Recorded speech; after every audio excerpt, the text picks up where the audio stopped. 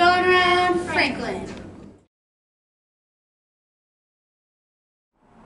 Today's weather is Cloudy. with a high of 24.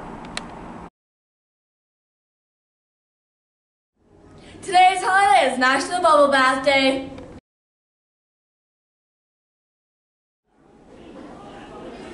Hey guys, it's Jackie. And Addie, and we're back with Challenge of the Week. Today's challenge is to read a fun book. Well, good morning, my little asparagus tips. How are we today? Mrs. Summerall here, and I hope you are off to a great start with the year 2024. Hey, it's a good thing I ran into you. I need to talk to my American Heritage Trip students. We will likely have a meeting in my room at lunch for students in the next couple weeks. So I will definitely give you a heads up when that's about to occur. Uh, so keep that in mind. We're probably going to try and meet a little bit more regularly because guess what? Our trip is happening this year in a couple of months. It is so exciting.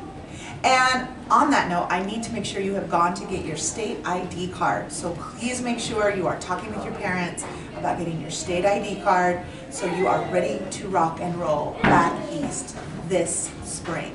Hey, you guys have a great day. See you later. Bye. Today for lunch is. In the fast food line, there's corn dogs. In mainland, there's soft tacos. In the Delta line, there's pulled pork. Don't forget your fruits and vegetables and throw away the trash.